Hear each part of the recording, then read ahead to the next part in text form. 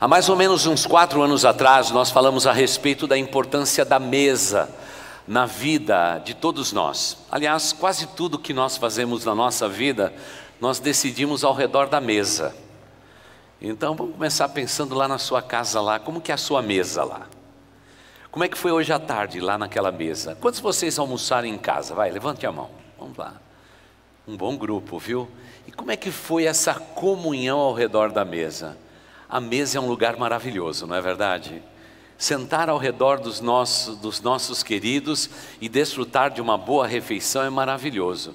E é por isso que eu digo: nunca terceirize aos seus filhos o quarto, a sala, não faça isso, que vocês possam comer juntos as refeições, porque muito do nosso futuro e da nossa vida é decidido à mesa, é decidido à mesa. Existe mesa de todos os modos no mundo as mesas dos negócios, onde tantas coisas são decididas no mundo. Existe também a, me, a mesa não é, lá do médico, quando a gente tem que olhar para dentro de nós mesmos e ver se tem uma gordurinha a mais, se nós estamos nos alimentando direito. São mesas. Eu sei que aqui também na igreja, quando você vem falar com qualquer um de nós pastores, é, sempre tem uma mesa. Mesa de comunhão, mesa de nos alimentarmos, sempre a mesa está presente na nossa vida. Desde a antiguidade isso aconteceu. A mesa, ela começou muito pequenininha. Ela tinha normalmente naquele período de tempo entre 35 e 45 centímetros. Eram baixinhas, não tinham pernas. Os homens tinham que lavar os seus pés, porque na hora da refeição eles ficavam com seus pés viradinhos e sempre perto de alguém que estava se alimentando. Então, lavar as mãos e os pés naquelas ruas empoeiradas da história da humanidade era algo que todos deveriam praticar.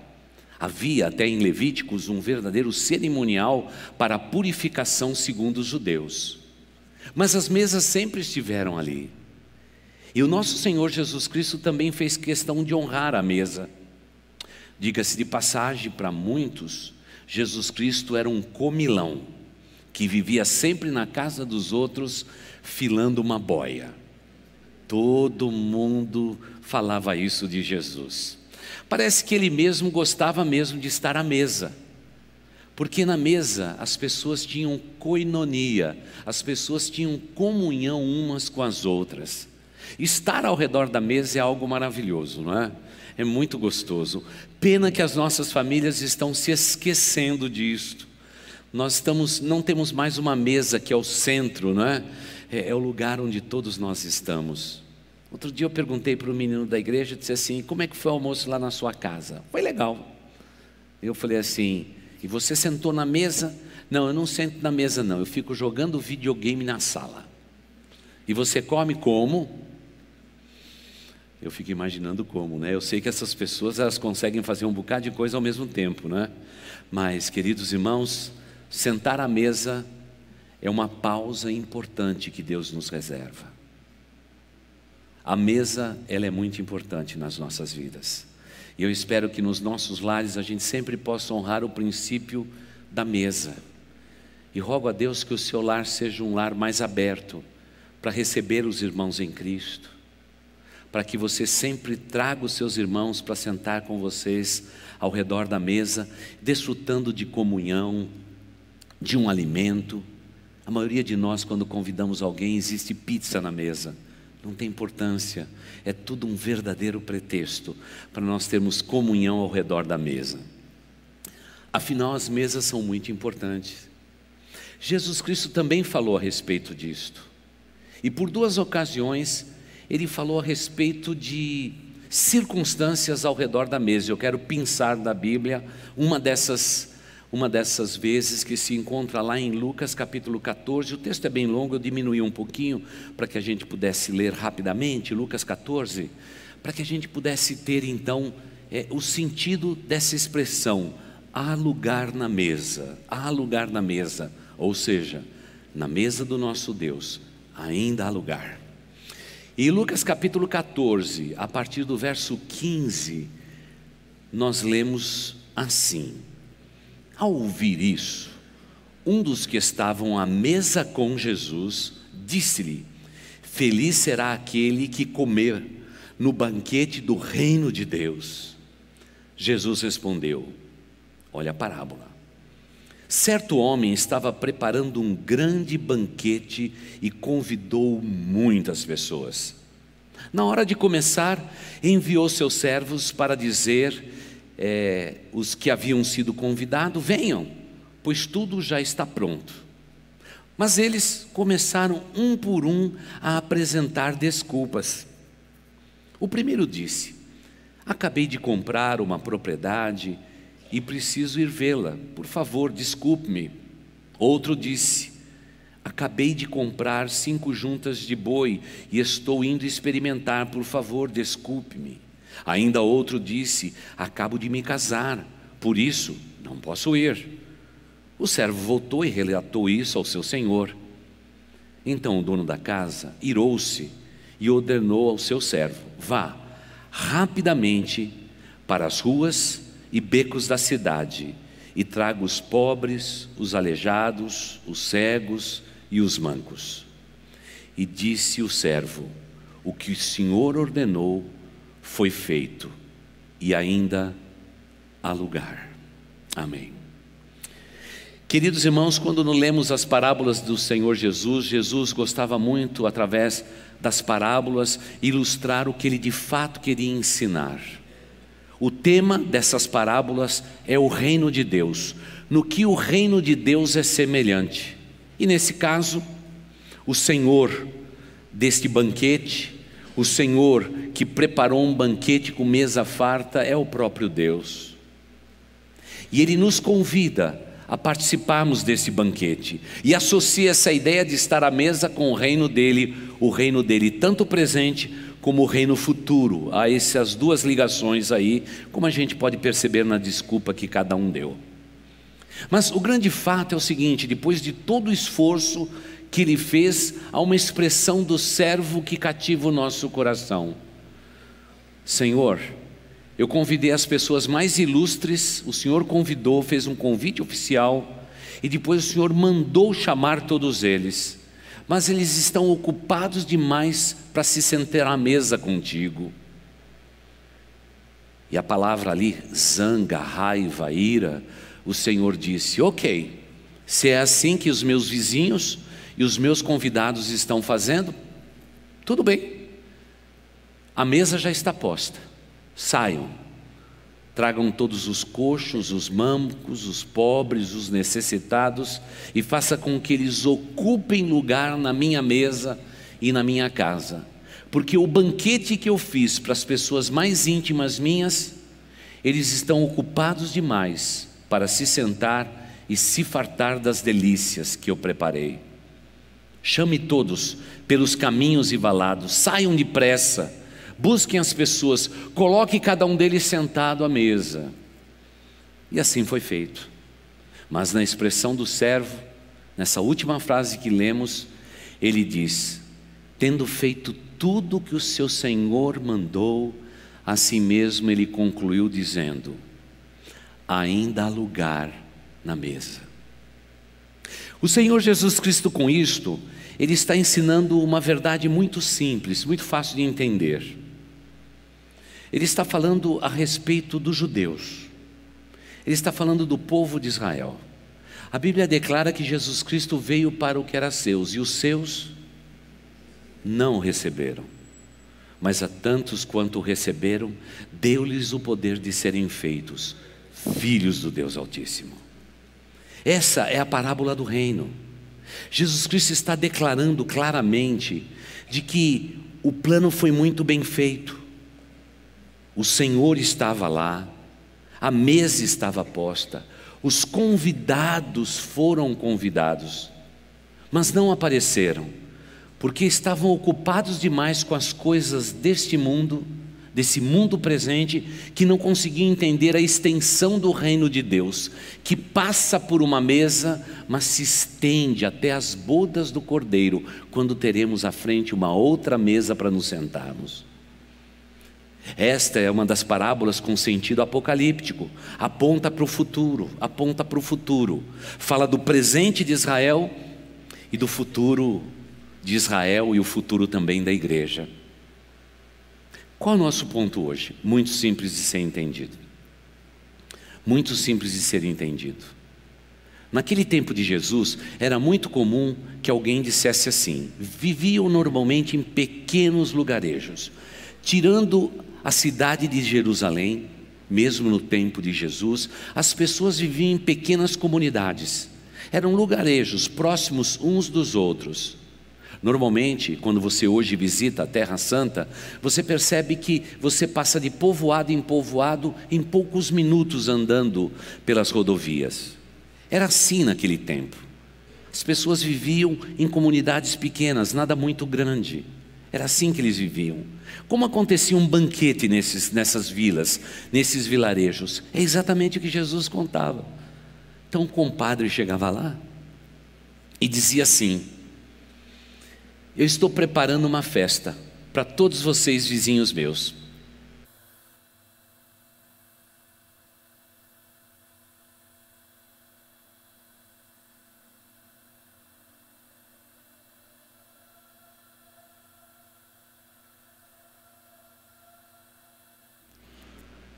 Era um calendário antigo, medido pelas luas. Daqui duas luas eu vou me reunir. E normalmente esse dia era sexta-feira, antes da preparação dos judeus, porque geralmente eles se sentavam à mesa, eles comiam e depois entravam no seu sabá. Era assim que acontecia. Quando alguém dizia, daqui duas luas vamos nos encontrar, era muito fácil, era esperar as duas luas passar e imediatamente naquela sexta-feira a festa começava bem cedo, mas tinha que terminar provavelmente às quatro horas da tarde, para a preparação dos judeus segundo a tradição. E esse senhor, da parábola de Jesus, ele fez tudo certinho. Ele marcou a lua, ele marcou o banquete, ele se preparou para isto, ele preparou o guisado, ele preparou todas as coisas e todos já previamente estavam convidados para esta celebração. Mas quando chegou a hora e que tudo estava pronto, o seu senhor chamou os seus servos e disse: A mesa está colocada, a comida já está pronta. E os servos disseram: Sim, está pronto. E ele falou para um dos, teus servos, dos seus servos: Corra pelo vilarejo e diga aos meus convidados que a mesa está posta. E era assim que se fazia. Você ia quase na casa do vizinho e dizia assim: A comida está pronta. A pessoa só atravessava a rua e já ia se fartar das delícias daquele homem que já havia marcado, normalmente segundo a tradição, com duas luas de antecedências a respeito daquela refeição. Mas o servo saiu naquele dia. Mas parece que todos estavam ocupados demais. O sábado dos judeus se aproximava. E tudo que eles tinham que fazer tinha que ser antes do sabá. E eles deixaram para a última hora todos os seus negócios. Essa é a questão. Porque se eles valorizassem aquela mesa, eles tinham se preparado melhor. Quem sabe nos dias anteriores já haviam se preparado para dizer: olha, lembre-se que o nosso compadre ali, ele disse que haverá uma festa, uma grande celebração. Mas eles deixaram tudo para a última hora. Parece que essas pessoas que viviam perto desse certo homem, que preparou esse banquete, ele se parece muito com a gente. Você é uma pessoa que deixa tudo para a última hora? Você é uma pessoa que sempre improvisa? Porque sempre diz assim: no final vai dar tudo certo. E se não deu certo é porque ainda não chegou a hora. Eu vejo muito isso quando o brasileiro tem que declarar imposto de renda. pergunta da semana é sempre aquela: já, já fez a sua declaração? Vou fazer. Mas ó, termina amanhã, meia-noite. Ah, não, pode deixar que eu vou fazer. Eu estou juntando aqui uns documentos e vou fazer isso tudo. Parece que nós somos assim. A gente às vezes olha para o texto da Bíblia e a gente diz: que judeus mal ajeitados. Foram convidados para uma grande celebração, uma grande festa e deixaram tudo para a última hora e na última hora não conseguiram ir e de improviso ninguém consegue numa festa.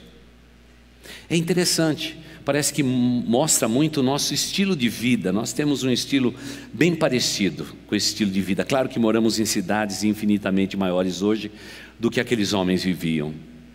Mas a questão de Cristo Jesus, ele está falando de quem tem parte com ele, quem entra no reino de Deus com ele.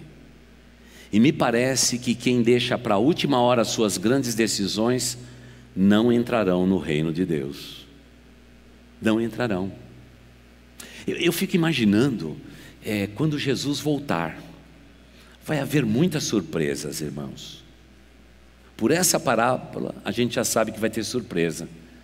Vai ter muita gente que vai estar nos céus e que vai ser uma surpresa para nós. Mas a surpresa maior é os que não vão estar nos céus. E a gente vai dizer: cadê Fulano? Cadê Ciclano? Ele não apareceu ainda aqui? Não, onde ele está? Em grande tribulação. É o alerta, é o alerta. É como se Deus dissesse: Eu preparei a minha mesa, o meu banquete para vocês. E naquele momento de Jesus, a história combinava com todos aqueles homens. E Jesus estava dizendo: Às vezes eu chamo Israel de figueira, agora preferi de chamá-los dos convidados, os convidados de honra. Mas como os convidados de honra estavam ocupados demais para ocupar o seu lugar à mesa, eu decidi chamar a todos que precisam, os mais necessitados, os pobres, os cegos, os coxos e os mancos. Essas expressões podem parecer muito comum para nós que vivemos hoje. Mas o que Jesus está dizendo aqui afronta os princípios, principalmente dos fariseus que puderam ouvir esta parábola.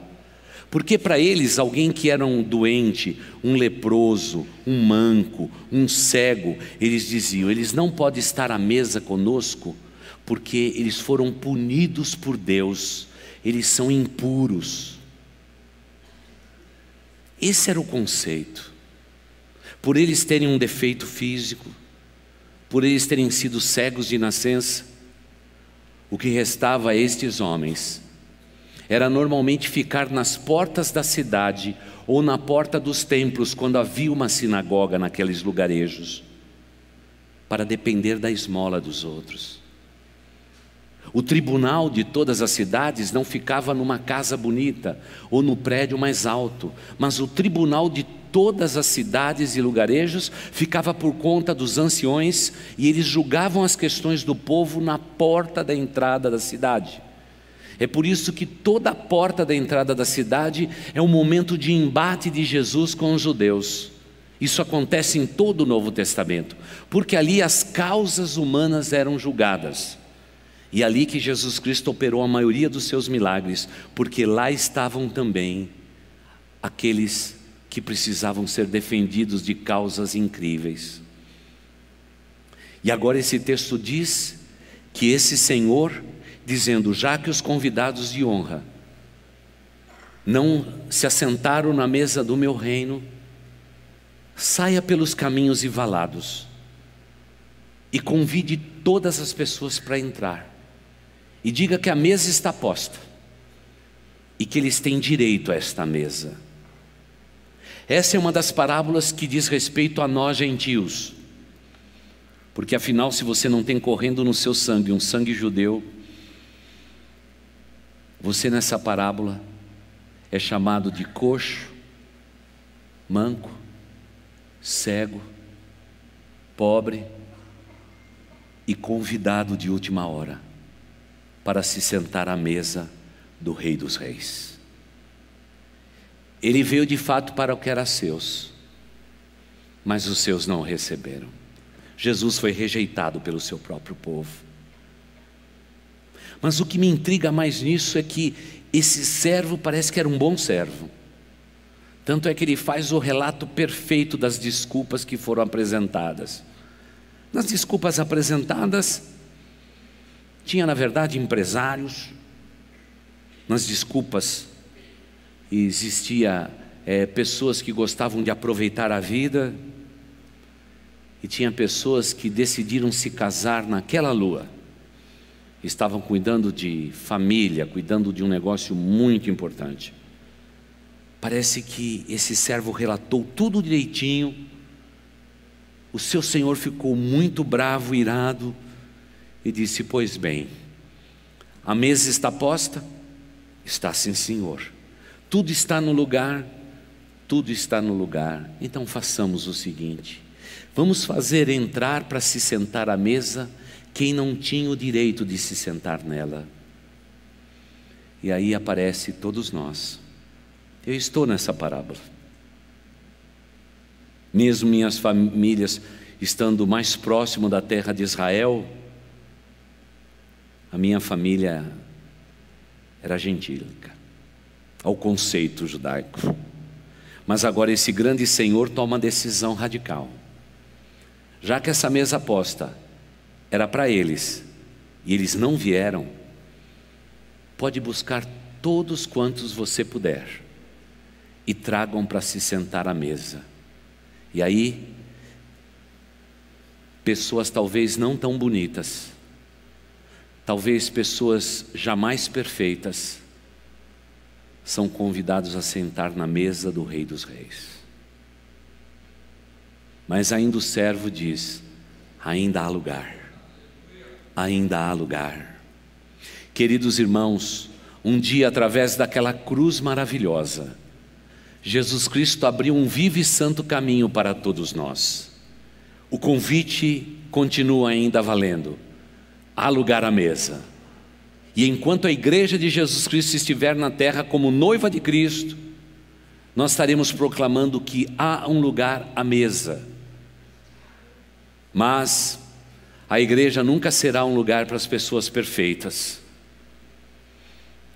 A igreja sempre será um lugar de pessoas imperfeitas. Afinal, nessa parábola somos chamados de coxos, mancos, pobres e necessitados. Esses somos nós. E eu sei que muitos de vocês são tão bonitos, vocês são tão crentes, mas esse é o lugar que nós saímos. Nós saímos do lugar onde não havia perfeição em nós, não havia beleza nenhuma em nós. E aí ouvimos a voz do Mestre: Venham, se assente à minha mesa. Mas, Senhor, eu não sou digno. Eu não sou digno de entrar na tua casa, eu não sou digno de estar debaixo do seu teto, muito menos se sentar à mesa contigo, Senhor. E ele disse: Pode entrar, que a casa é sua. E quando eles chegaram lá, em cada mesa havia o nome de cada um deles porque essa não é história de homens, esta é uma história divina. E há um lugar para cada um de nós.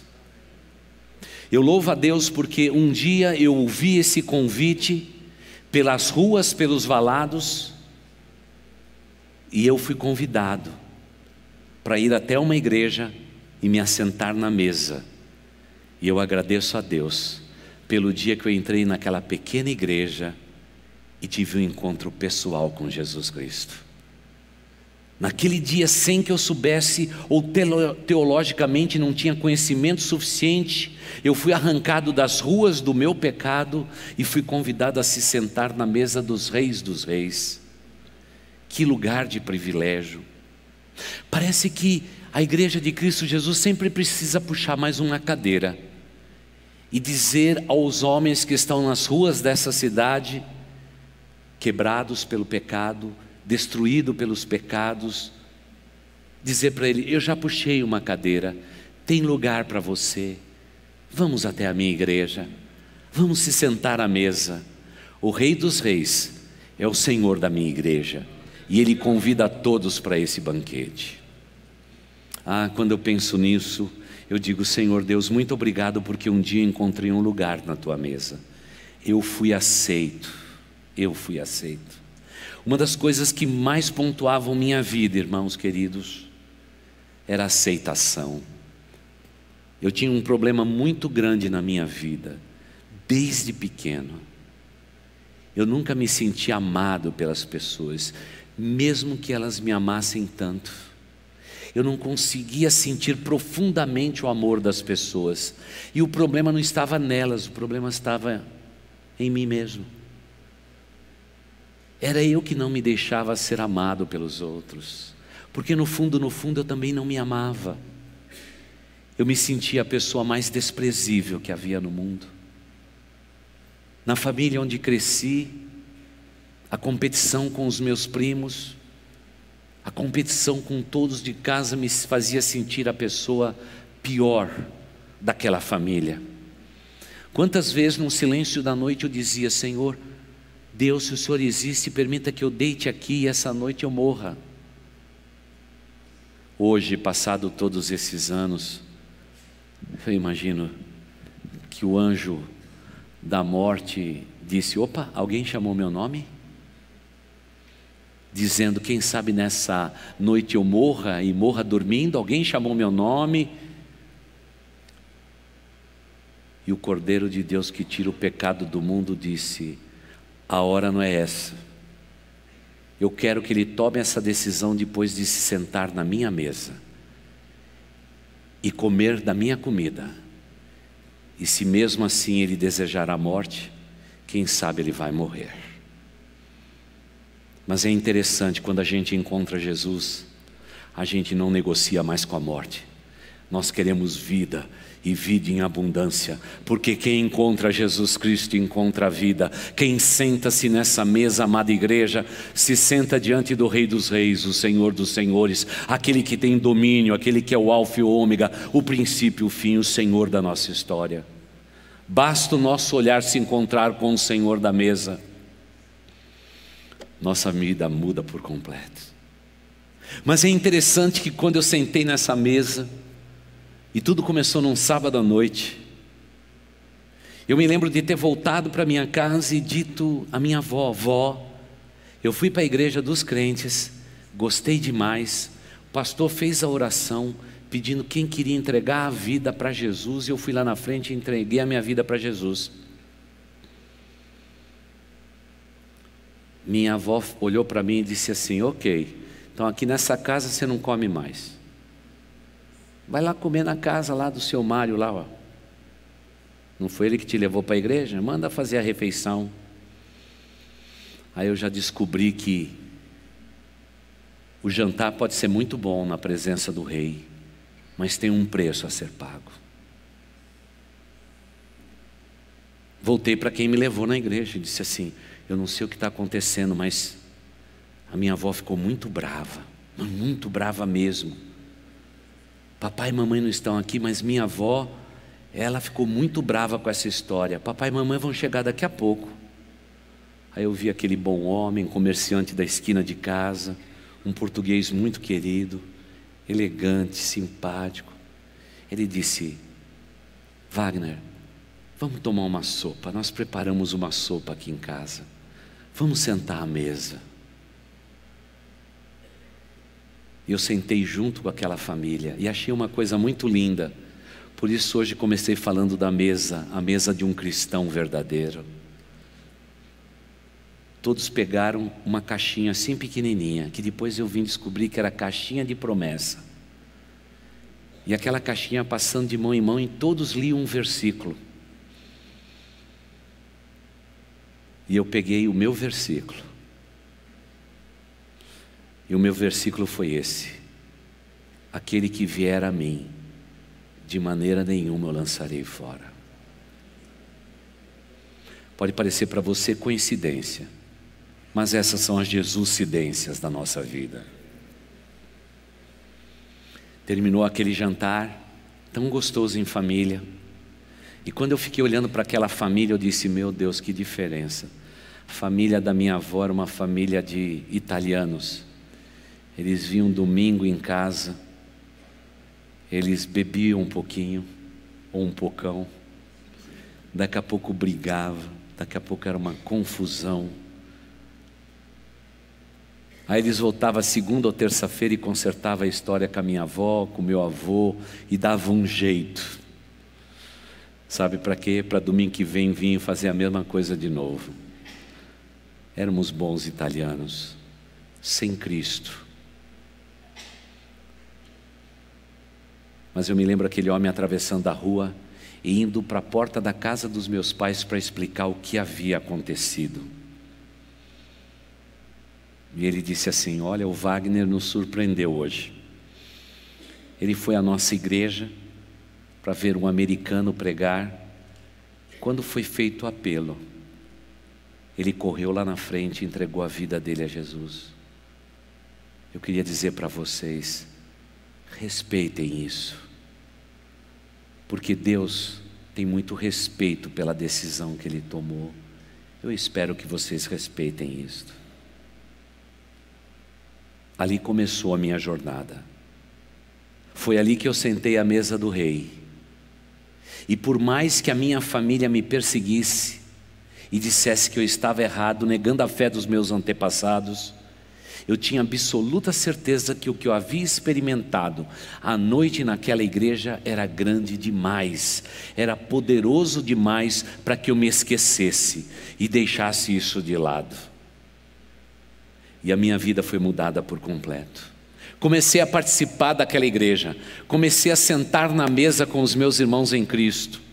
E achei maravilhoso que logo no outro domingo, sabe o que aconteceu? Tinha a ceia do Senhor, tinha a mesa posta naquela igreja. Eu estava disposto a comer tudo. Eu estava disposto a comer mesmo, mas aí eu descobri que não é assim que crente come, pelo menos na igreja. O pão era todo cortadinho e uns cálices minúsculos, nem parecia refeição. E quando eu fui estender a mão, quando eu fui estender a mão, o diácono puxou a bandeja e falou no meu ouvido suavemente: Você ainda não foi batizado, você ainda não é membro desta igreja. Aguarde, jovem, aguarde. Eu me senti completamente amado naquele instante. Porque parece que um pregador disse que tinha um lugar à mesa, agora um diácono disse que não tinha lugar na mesa. Que havia condições para eu sentar na mesa. Que eu tinha que ter respeito àquele memorial. Eu deveria respeitar os princípios por ele esboçado.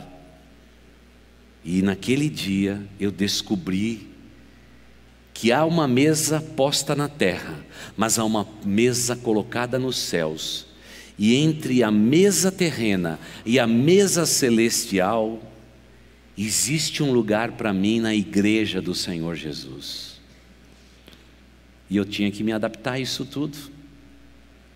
Dei uma olhada para a direita e para a esquerda, fiquei quieto, porque quando você vai primeira, segunda, terceira vez na igreja, você nunca dá fora, né? E eu comecei então a perguntar para o meu amigo: Olha, para eu não dar fora tudo que esse pessoal fazer, você vai me dizendo. Só que eu sou muito observador. Então, por exemplo, o coral ia cantar, eu achava bonito aquilo.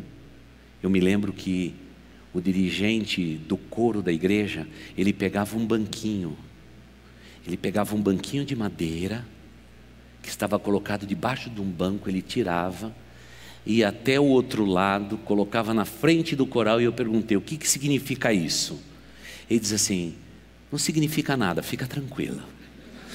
Aí aquele regente subia para ficar mais alto do que o coral. E, o, e, ele fazia com a mão assim. Eu falei: e o que, que é isso? É para o coral ficar em pé. Fica tranquilo. Aí o coral ficava em pé. E o coral cantava lindamente. Uau, era de arrepiar. Que louvor era aquele? E eu sei que às vezes o pastor entrava, e aquele tempo os pastores eram muito honrados, quando o pastor entrava na igreja todo mundo ficava em pé, parecia sala de aula. Sabe quando a professora entrava? Naqueles bons tempos, onde que aluno não batia em professor, assim. Irmãos, era um negócio bonito. E engraçado que o coro ficava em pé esperando o pastor entrar. Quando o pastor entrava, todo mundo ficava em pé. E aí então eu descobri que entre é, a mesa posta da terra e a mesa posta nos céus, Eu descobri que essa mesa passa pela igreja de Cristo Jesus. E passei a obedecer esses princípios. Descobri que igreja é corpo de Cristo, que ela é a noiva de Deus na face da terra. Descobri que ela cuida dos interesses do reino até que o, o noivo volte. Fiquei maravilhado que ela transpassa edifícios. Ela é uma igreja viva. E logo fui me adaptando, logo fui me ajeitando, porque também descobri que eu era parte do rebanho e que havia um divino pastor. Tudo aquilo foi encantando o meu coração. E eu descobri que havia ali uma comunidade muito boa para fazer parte. Eles não discutiam o que a maioria das pessoas do mundo discutiam. Eles falavam demais dos céus, eles cantavam muito o céu. E me disseram que eu teria o céu no meu coração. Foi muito legal aquilo. Eu não sei por onde você entrou pela igreja, qual foi a igreja, mas eu agradeço a Deus por aquela igreja. Como que eu aprendi? Como eu cresci espiritualmente? Me lembro o dia que eu fui comprar a minha Bíblia, nunca vi tanta emoção na minha vida. Naquele tempo, você tinha que sair de casa e ir na casa da Bíblia, lá perto da Praça da Sé, para comprar a tua Bíblia. E quando eu cheguei lá, havia quatro modelos de Bíblia. Agora, aqui na nossa livraria, tem mais de 40 modelos de Bíblia. Naquele tempo só tinha quatro: Bíblia, Bíblia, Bíblia, Bíblia com a borda vermelha Bíblia, Bíblia com a borda dourada e Bíblia, Bíblia com o cantor cristão junto. Aí você tinha que escolher e eu escolhi. Tinha tão pouco dinheiro. Eu queria comprar aquela Bíblia dourada, porque a Bíblia dourada combina com a fé. Mas eu tive que ficar com a vermelha mesmo. O dinheiro só dava para isso, não dava para voltar de volta para minha casa a pé da Praça da Sé. Então eu fiquei com aquela vermelha, meio desapontado, dizendo para mim mesmo: um dia eu vou comprar aquela dourada tão bonita. Mas o mais surpreendente é que eu peguei aquela Bíblia como um tesouro na minha vida, como alguém que encontrou um grande valor. E não vi a hora de chegar em casa e começar a ler as, as Escrituras Sagradas. Afinal, já fazia duas semanas que eu tinha tido o um encontro com Cristo Jesus. Cheguei em casa e perguntei para minha mãe: Mãe, a gente pode riscar a Bíblia? E ela disse: Jamais. Não risque a Bíblia, ela é a palavra de Deus. Para uma boa católica, até que ela tinha bons conceitos.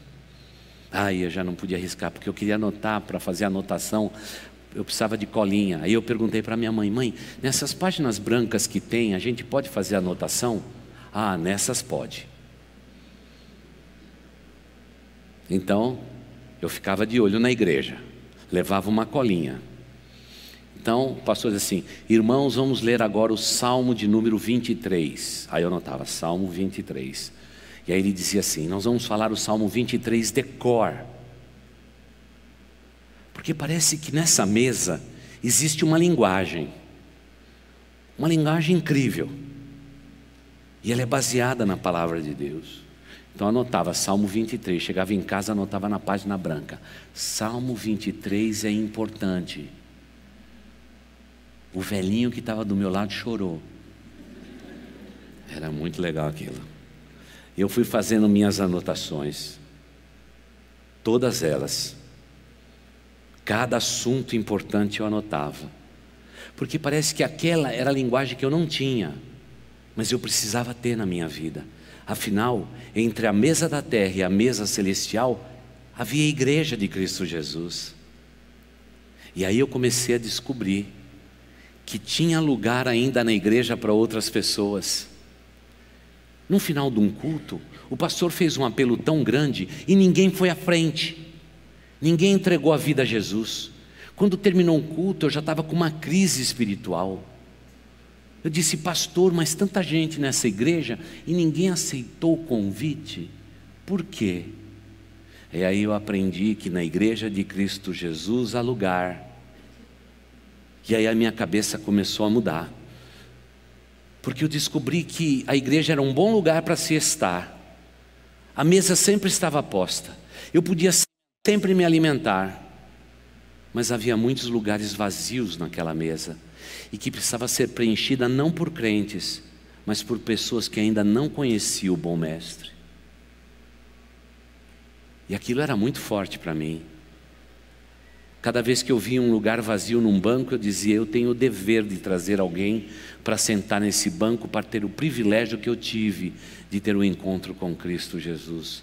Aquilo consumia a minha alma, consumia o meu ser. Mas aí eu me lembro que um dia, um dos jovens da igreja chegou e falou assim: domingo que vem, antes do culto da noite, nós vamos colocar um alto-falante em cima do meu Fusca e nós vamos lá para a estação de São Caetano do Sul e nós vamos pregar o Evangelho e vamos convidar pessoas para vir para a igreja. E eu disse: esse é meu lugar. Naquele dia, na hora certa, estava eu lá plantado, na estação, esperando o Fusquinha chegar. Olhava no relógio, Fusquinha não chegava. Olhava no relógio, o Fusquinha não chegava. Olhava no relógio, o Fusquinha não chegava. E naquele primeiro domingo, o Fusquinha não chegou. Sabe como é crente novo, né? Ouve até errado. Era o meu caso. Era o outro domingo.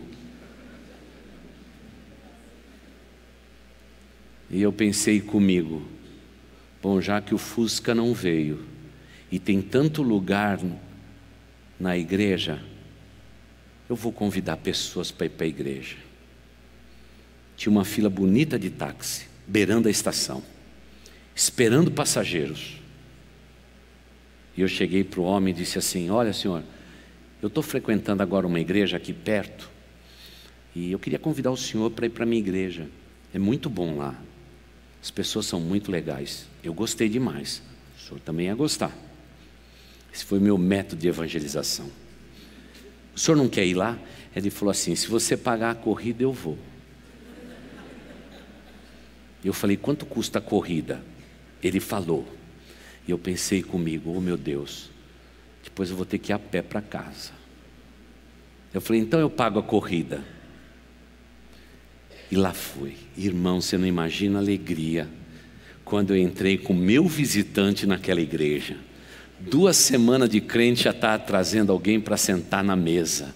Uau, aquilo foi um momento muito legal. E naquele dia, naquele dia, o pastor não apresentou visitante.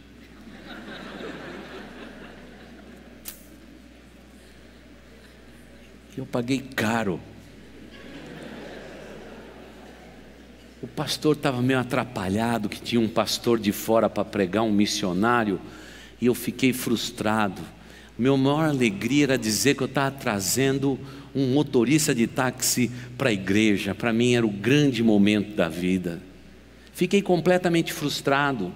Porque sabe, na mesa aqui da igreja, de vez em quando a gente fica frustrado, a gente ouve uma coisa que não gosta, um irmão pisa no nosso pé, outro tem uma palavra atravessada, outro é chato mesmo por natureza.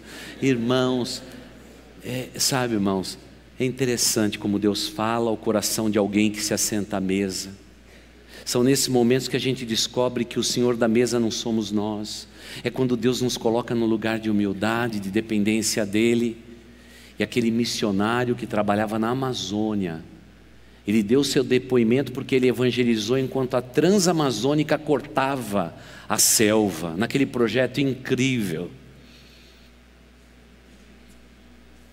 E no momento do apelo, ele convidou pessoas aí à frente. E o motorista de táxi foi à frente, sem ser apresentado. Naquele dia eu descobri que quem manda na igreja de Jesus não sou eu, não os pastores, não os diáconos, mas o Senhor da igreja é que manda na igreja. Ele faz os seus caminhos. Há muitos anos atrás, nessa igreja, quando estávamos no templo antigo, eu fui visitar uma senhora E o marido me disse assim: Pastor, o senhor pode nos visitar, mas eu gostaria de dizer para o pastor uma coisa. Não fale de Jesus para minha esposa. Ela tem outra religião, ela vai ficar muito aborrecida e vai dar muito problema para mim e para as minhas crianças, pastor. Pastor, o senhor pode nos visitar e não fale nada. Eu sou obediente. Fui visitá-lo, eu e minha esposa, sentamos na mesa, comemos uma pizza muito gostosa, conversamos de amenidade. Aquela senhora mostrou todo o seu álbum de casamento. Eu vi como as pessoas mudam. Olhe para o álbum de casamento. O que nós éramos, nós nunca mais seremos. Nem parecia eles. Eles mudaram um bocado. Mas eu gosto muito da minha esposa. Ela disse: Nossa, que vestido bonito que você tinha. É claro que hoje a gente pode rir, é, rir com essa família, porque tudo isso aconteceu. E quando chegou a hora de ir embora, eu sempre faço uma oração para ir embora. E agora, oro ou não oro? Eu disse: Bem, está tarde, eu preciso ir embora. E aquela senhora me surpreendeu, porque ela disse assim: Pastor, Todo lugar que o senhor vai, o senhor faz oração? Faça oração. E na hora de ir embora, o senhor ora também? Oro. Pastor, o senhor está me achando indigna da sua oração? Só porque eu tenho outra religião? E eu pensei comigo, exponho o meu anfitrião, que situação difícil. E é interessante, mulher, a minha esposa olhou para mim e, como ela sempre diz, ela diz assim: Você é o pastor. Terceiriza na hora. E eu disse, querida, eu sempre oro, mas eu tenho que admitir, eu já cheguei na sua casa nunca querendo ofender a tua fé e a tua convicção. Eu sei que você anda aborrecida porque o teu esposo e teus filhos têm andado na igreja. E parece que agora eles só vêm à igreja. Talvez você esteja aborrecida, por isso que eu ia sair desta maneira. E olhei para o dono da casa e disse: Não é verdade, meu irmão? Ele disse: É verdade, pastor. Aí eu me senti um pouco mais absolvido. Fomos embora. Domingo, templo antigo. Quando eu olho para o auditório, lá estava ela. Fiz o apelo e ela veio à frente. Mês depois estava sendo batizada. E a gente descobre que sempre há um lugar na mesa. Entre essa mesa aqui e aquela celeste, parece que quando a gente convida dizendo há lugar para todos, as pessoas são bem-vindas e elas entendem, elas se sentem recebidas, elas, elas têm o um entendimento que elas foram aceitas, como eu também tinha problema de ser aceito. E eu fui aceito na mesa. E aquilo era grande demais. E eu quero que você comigo faça uma pequena viagem de quando você foi aceito pela primeira vez naquela comunidade, na igreja onde você estava, ou nessa igreja para onde você veio. Você consegue se lembrar dos seus primeiros passos? Mas eu quero que nesta noite você ouça uma voz do Senhor da igreja que te diz: Muitos se sentaram à mesa e de repente o servo diz: Mas ainda há lugar, há lugar, há lugar para os nossos parentes, há lugar para os nossos vizinhos, há lugar para os nossos colegas de faculdade e colégio, há lugar. Porque entre esta ceia e aquela que é celebrada nos céus, há um bocado de lugar, puxa a cadeira são nesses momentos em que a gente percebe nítida e claramente que há um lugar na igreja, mas há um lugar nos céus para todos. E é para lá que nós estamos indo. E o dia que Jesus Cristo voltar, esse lugar vai ser invadido por um monte de pessoas que conhecem a história do Cristo, E no dia do nosso sumiço, no dia do arrebatamento, eles vão arrombar as portas desta igreja e vão entrar nesta igreja para entender o que aconteceu conosco. Mas nós não vamos estar mais aqui. E pior do que isso, o Espírito Santo vai ser levado. E naquele dia, começa a grande tribulação como nunca houve sobre a face da terra. Não haverá alento para o coração humano. O desespero vai tomar conta do ser humano porque o lugar sempre esteve aberto, a porta sempre franqueada, sempre havia um lugar na mesa, mas as pessoas dão as suas desculpas para não viver este Evangelho. É desculpa o tempo todo. Quantas vezes eu pergunto para mim mesmo quantas pessoas nesse bairro eu conheço, quantos e quantos convites eu fiz na minha vida, mas eles nunca estiveram aqui. Pessoas boas, pessoas corretas, mas nunca quiseram se sentar à mesa. A minha parte eu tenho feito, continuo convidando e dizendo: Ei, tem lugar na mesa, tem lugar na mesa. Mas eles continuam lutando. Quantas vezes eles até vêm, mas eles resistem, porque para muitos, sentar na mesa e comer com o Rei dos Reis significa mudar de fé, mudar de convicção renunciar o seu próprio eu, renunciar o domínio do pecado na sua vida, porque essas são as mensagens de quem se assenta na mesa. A mesa não é nossa, a mesa é do rei, e ele é santo, santo é o Senhor. E as pessoas resistem, as pessoas resistem, mesmo sabendo que a mesa daqui aponta para a mesa de lá, dos céus.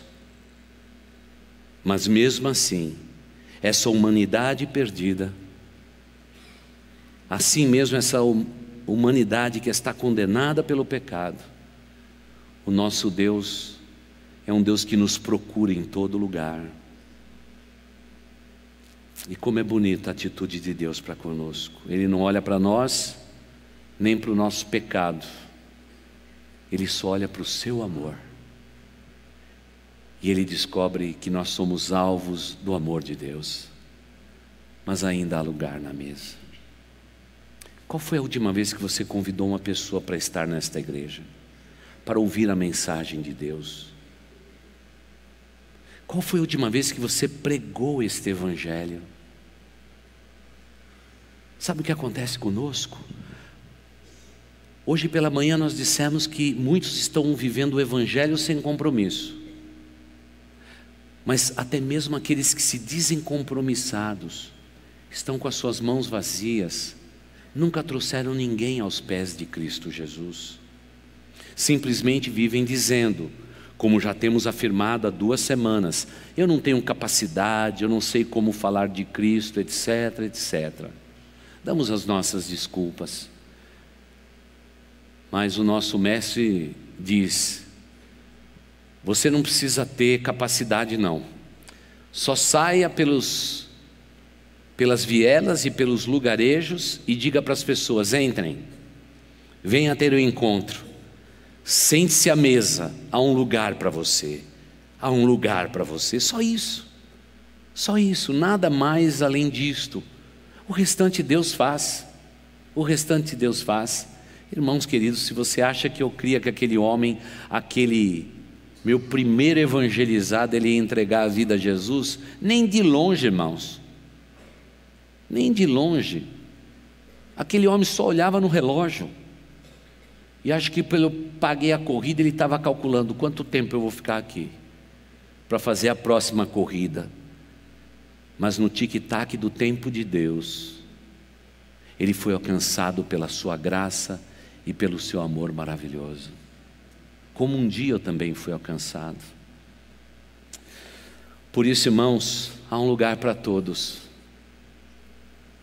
Há um lugar para todas as pessoas nos céus. Só que essa tarefa de convidar as pessoas, Deus não deu para anjos. Deus, Deus, Deus deu para quem já está sentado à mesa e já conhece o Senhor da mesa e já se alimentou desta mesa. Este sabe quem tem crido, e ele sabe que esse Deus, esse Senhor é poderoso para guardar o nosso tesouro até o dia final. mas ainda há lugar nessa mesa. Imagine se todas as cadeiras hoje à noite pudessem estar ocupadas, para as pessoas ouvirem a mensagem de Cristo Jesus. Por que elas não estão ocupadas? Alguns dizem é porque a gente não tem um estacionamento amplo. Alguns dizem que porque as ruas de São Paulo são muito escuras à noite de domingo.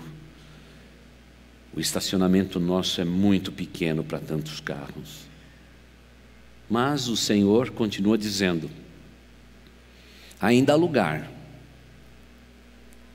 Cada vez que alguém dá uma desculpa, ele continua dizendo: saia pelos caminhos porque ainda há lugar.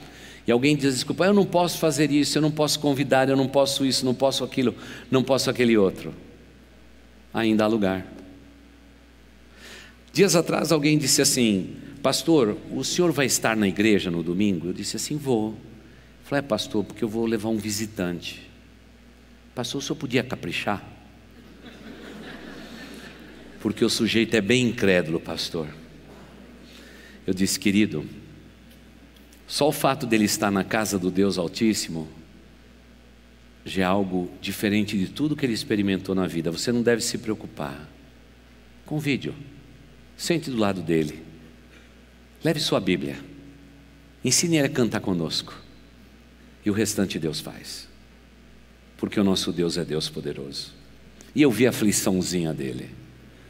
Naquele dia a mensagem foi extremamente devocional e eu fico imaginando que ele ficou bem frustrado com aquilo tudo. O pastor não caprichou. Porque muitas vezes nós achamos que Deus tem que agir conforme nós queremos. Deus é como o vento, sopra onde quer e faz a obra que Ele quer. Vamos lá tomar café. E ele, todo sorridente, já passou pela porta assim: Esse é meu amigo, pastor. E como dizia nos olhos assim: Pastor nem fez apelo hoje. Eu falei, que bom, olha, manda ele entrar, tomar um café, um chá. E ele entrou. E aí atendi todo mundo na porta, aquele corre-corre de sempre, os pastores lá, tudo certinho, como acontece todo domingo.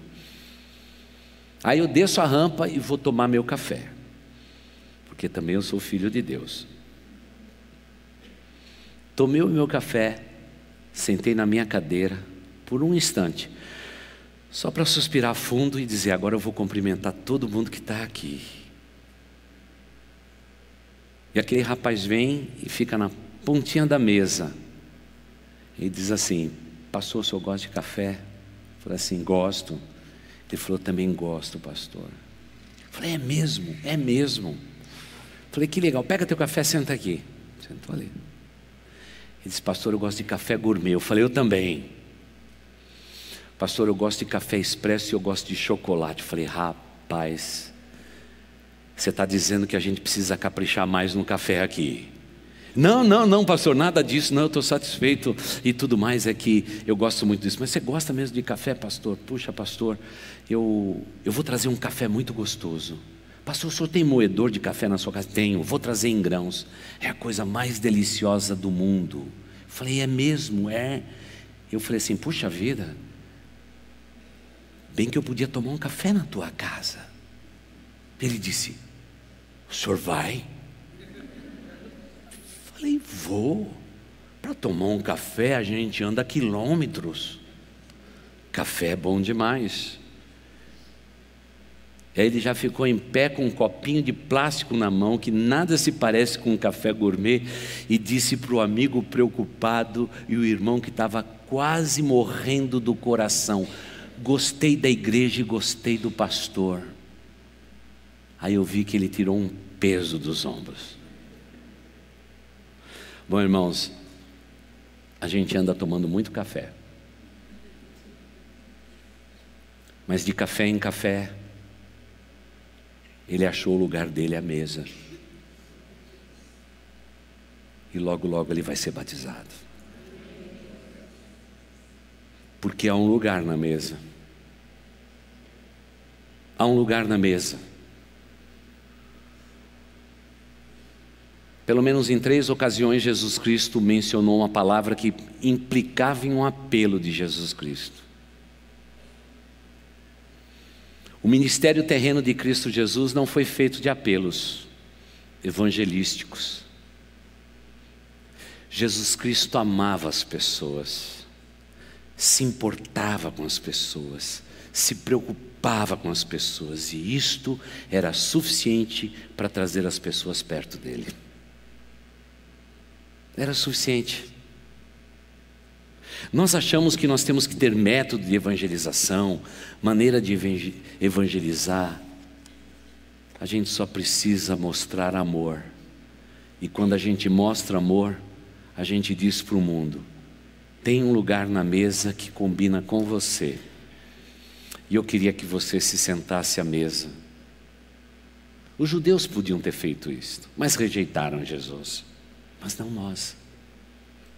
Por isso, Hoje há um lugar na mesa. E com isso eu quero concluir, dizendo a todos vocês com carinho: há um lugar na mesa. Talvez você tenha entrado por essas portas com seu coração vazio, em busca de resposta para a tua existência. Talvez você tenha procurado em tantos lugares a resposta para a tua existência ela não está numa igreja, ela não está em uma denominação, ela está em Cristo Jesus, o Senhor. É Ele quem salva, é Ele que transforma, é Ele que faz a obra que ninguém pode fazer. E eu quero garantir a você que esse Cristo é maravilhoso. E o vazio da tua alma combina com Jesus. Ele é o maior especialista que eu conheço em preencher corações vazios e produzir na vida das pessoas uma nova vida. E você vai viver uma nova vida na tua existência, porque Ele é Deus e Deus poderoso. E eu sei que você talvez tenha tentado tantas coisas até aqui. Eu também já fiz isso. Achei que nos prazeres havia resposta. Não funcionou no dinheiro, no conforto, no bem-estar.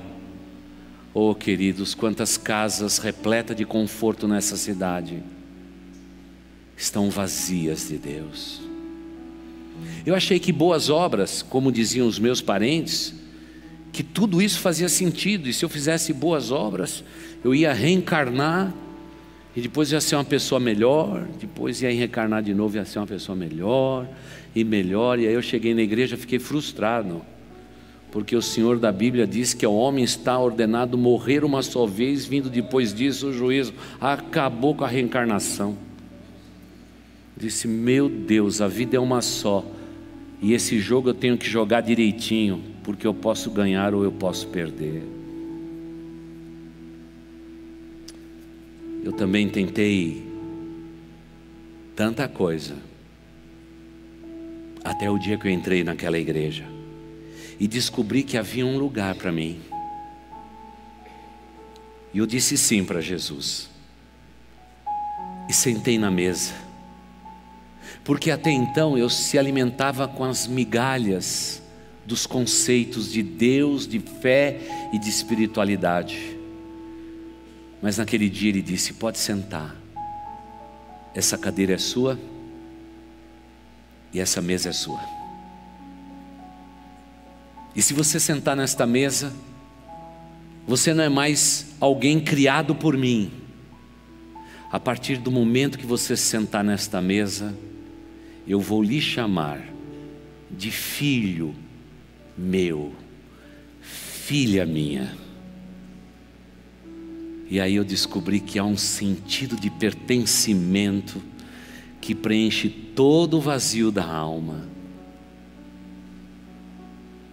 Mas esse bom Senhor diz: sente-se no teu lugar, tudo isso é para você, mas só existe uma condição para você apanhar da tua refeição e saciar a tua fome: é você reconhecer que você é um pecador, uma pecadora. Sentei na mesa, Olhei para o banquete. E ele, sem palavras nenhuma, eu já consegui descobrir que ele é santo demais para que eu pudesse ter um lugar naquela mesa. E aí não tive dúvida. Disse na hora: Eu sou um pecador. Eu preciso de ti, Senhor. Eu preciso de ti. E ele disse: Filho, bem-vindo à mesa. Você entendeu tudo certinho. Coma. Você não era digno de estar sentado nesse lugar, mas meu filho morreu naquela cruz, em teu lugar, para que você sentasse na mesa. E naquele dia, o enigma do universo foi desvendado diante dos meus olhos. E eu descobri que não era pelos meus méritos, mas era pelos méritos de Cristo que eu podia sentar à mesa. Naquela mesma hora, como se fosse uma figura, eu tentei me ajeitar. Será que eu estou vestido adequadamente para sentar nesta mesa? E ele dizia: Venha como você está. É, Senhor, é, deixa eu cuidar um pouco de mim, fazer um cursinho é, de espiritualidade, depois eu volto para sentar à mesa. Ele disse: Não, não, venha do jeito que você está. É, é que eu sou ainda um pecador e eu estou lutando com o pecado. Deixa eu resolver essa questão de se vem como você está. Não, eu quero limpar minhas vestes. Elas já foram branqueadas. Sente-se. E lembre-se que nesta mesa Nada é porque aquilo que você faz ou aquilo que você é, é pelo aquilo que eu sou. Eu sou o que sou. E eu te digo, bem-vindo a esta mesa. É naquele momento em que a gente se sente completamente pequeno demais diante da grandeza desse Deus de amor. Mas ele continua dizendo, ainda hoje, 2018, final do mês de setembro, há lugar. Eu morri por você naquela cruz. Sente-se à mesa. Tenha parte comigo. Porque eu quero ter parte com você.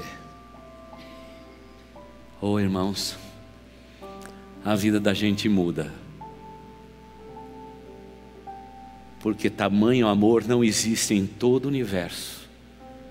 Há nesta mesa, nessa mesa que simbolicamente está posta aqui na frente. E hoje de novo Jesus Cristo diz a mesma coisa. Venha como você está, filho. Venha como você está, filha. Há um lugar na mesa para você.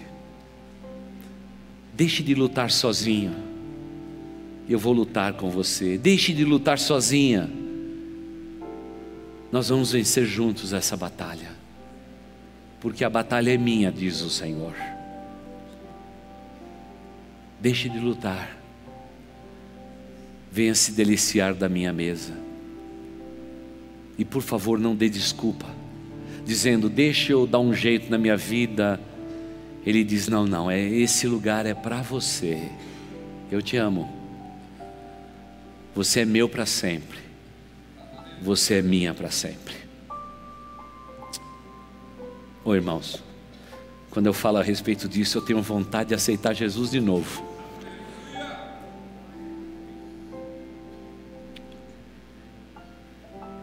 E dizer: Senhor Jesus, me perdoa porque durante tantos anos da minha vida eu ouvia falar do Senhor, mas somente agora os meus olhos te contemplam.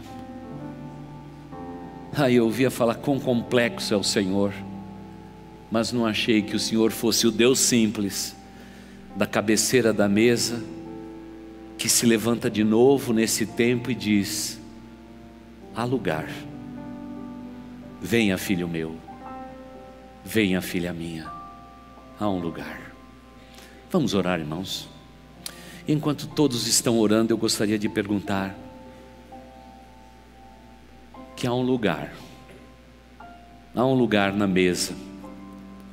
E talvez você tenha vindo aqui e você está aí no seu coração perguntando: o que eu devo fazer?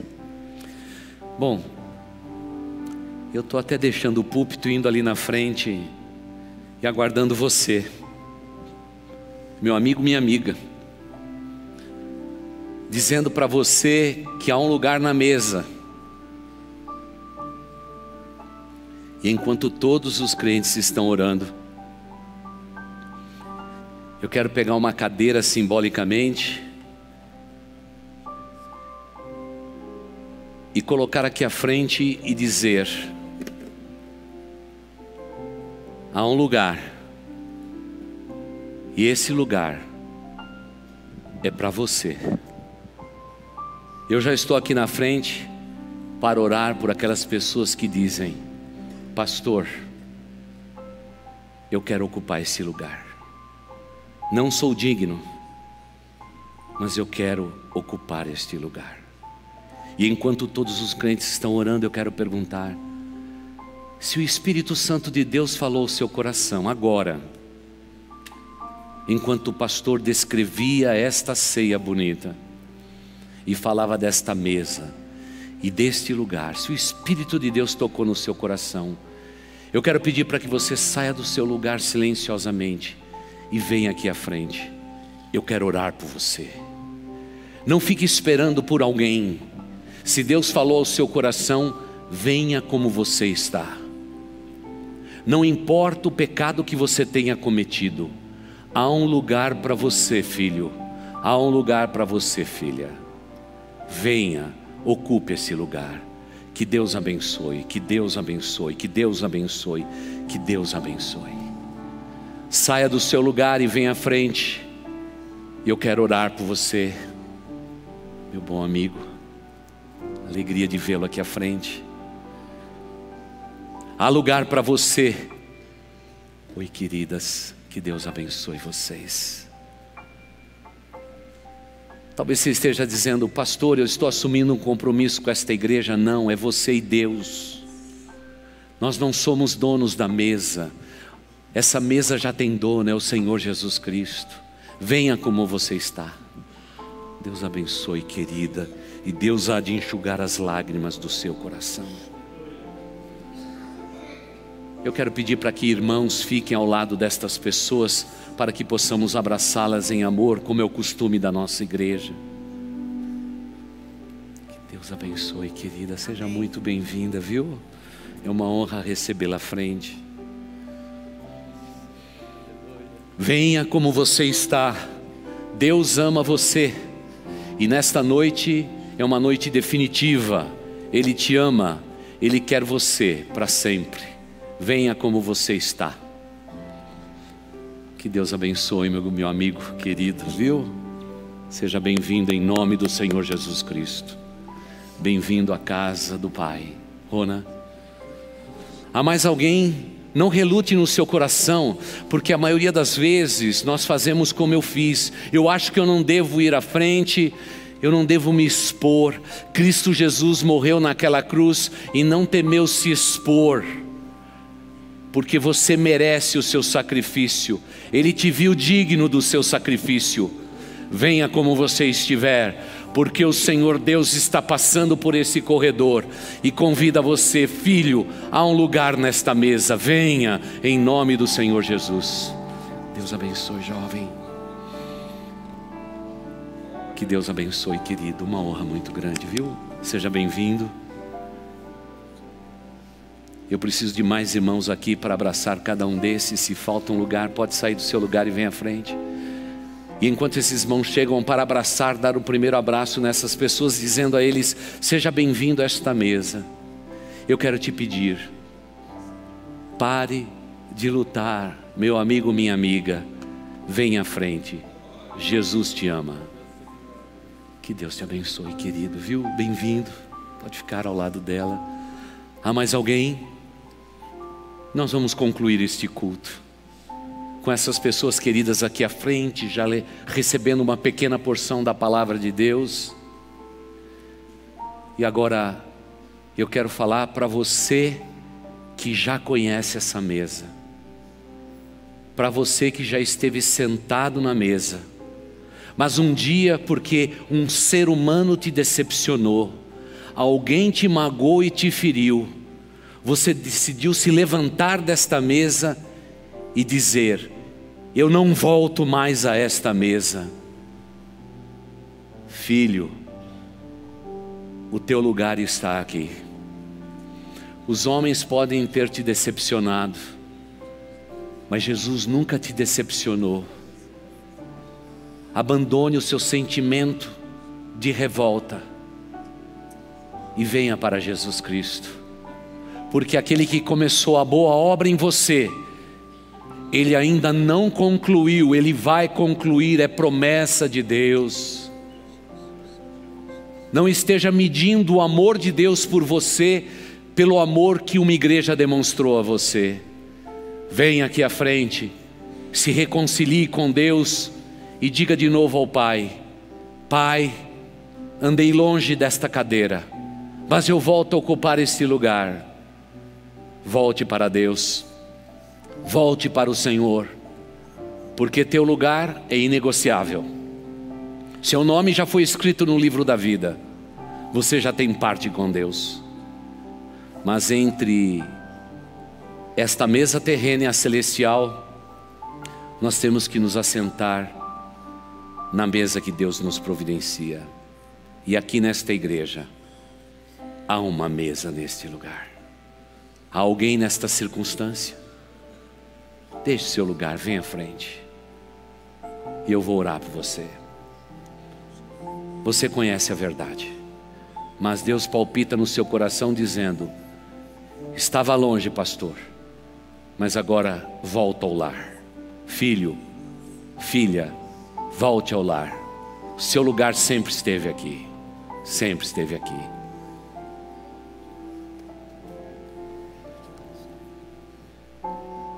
Bem-vindo ao lar. Viu o lugar que você nunca devia ter saído, viu, meu irmão? Deus te abraça com amor muito mais do que eu posso te abraçar. Que Deus o abençoe. Fique aqui conosco. Há mais alguém? Deixe seu lugar, venha à frente. Esse é o momento de decisão na casa de Deus. Há lugar. Há lugar na mesa. Vamos, igreja, ficar em pé e vamos orar ao Senhor. Vamos orar por essas pessoas, cada uma delas sendo abraçadas, e vamos orar ao Pai. Deus Altíssimo, eu te louvo, eu te agradeço, porque os meus novos irmãos e irmãs estão aqui à frente. Eles entraram por estas portas com as suas expectativas, mas eles puderam ouvir a tua palavra e crer no nome de Jesus Cristo, o Senhor da mesa, o Senhor da vida, o Senhor do universo. Ó oh, Pai, eu te agradeço pela maneira suave com que o Senhor tocou nos seus corações. Rogo ao Senhor, ó oh Pai, que cada um deles sejam abençoados por ti.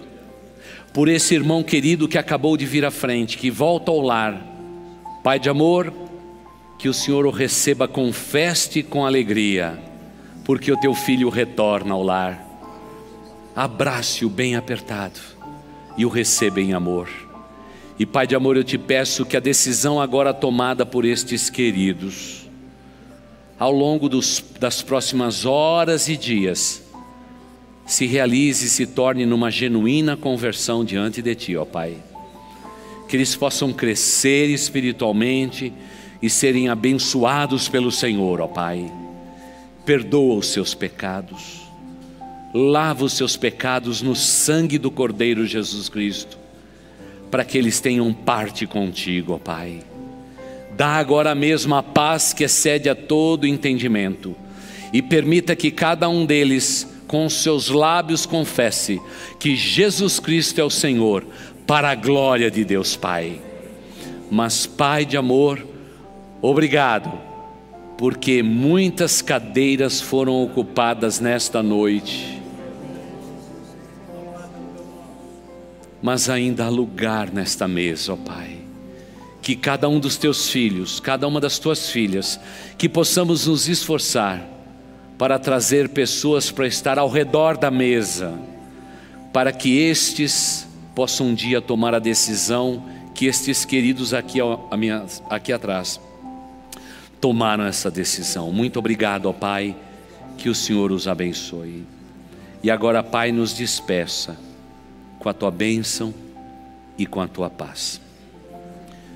E assim, queridos irmãos, que o amor de Deus, o nosso Pai, que a graça de nosso Senhor e Salvador Jesus Cristo, que a comunhão, as consolações e o poder do Espírito Santo de Deus estejam sobre vós e com todo o povo de Deus espalhado sobre a face da terra, desde agora e para todo sempre. Amém e amém. Abrace seu irmão em Cristo e diga a ele: é tão bom ver você sentado à mesa. Quero convidar os nossos pastores para que venham abraçar esses queridos que estão aqui à frente. E pode dizer ao seu irmão, à sua irmã: Sejam bem-vindos a esta mesa, como é bom estar ao teu lado nesta mesa espiritual. Deus abençoe a amada igreja e nunca se esqueça que em boas novas a gente sempre se encontra. Obrigado por ter estado conosco até aqui. Se Deus falou ao seu coração, entre em contato com a gente e nunca se esqueça, em boas novas a gente sempre se encontra.